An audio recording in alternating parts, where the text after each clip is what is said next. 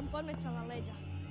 Ulazeći u slačionicu, riskirajući svoj ugled, da se netko iživljava nad menom. Šta Dora radi u slačionici? Pa spašam glavu, čovječe Boži! Spašam egzistenciju kluba!